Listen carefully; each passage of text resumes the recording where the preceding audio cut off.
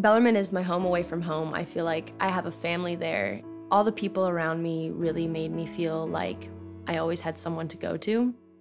Everybody's got a friendly smile. Everybody looks excited to go to class, and like professors even stop in the quad to talk to you. And that's something that you don't find everywhere. When someone asks you how your day is, they actually want to know. That connectedness kind of pushes everyone as a collective group to be something more. You can talk to anyone on campus and they'll tell you that the thing that they love most is the small class sizes and things like that so that they can really understand and perfect what they're learning and then take it and utilize it in whatever they want to do with it. My teachers are amazing. They go out of their way to make sure we achieve our goals. Bellarmine professors not only want you to succeed within the classroom, but outside of the classroom. Campus life is exciting and welcoming and fun.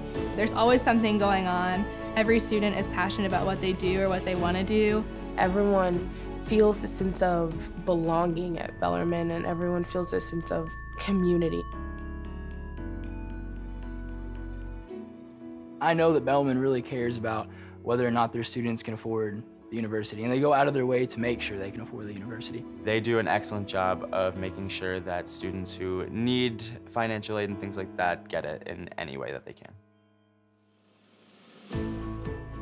Study abroad is so accessible for students at Bellarmine. This next semester I'm studying abroad in Spain, so they've done a lot to get me involved. They actually got me a job teaching English to students over there.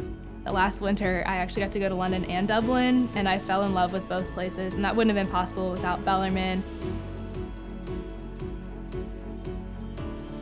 I don't think I would be who I am today without Bellarmine University. I look at this place and it's home. It's really allowed me to see things from different angles and different um, sides of things. It definitely gives me a variety of perspectives, and that's what I value most about it.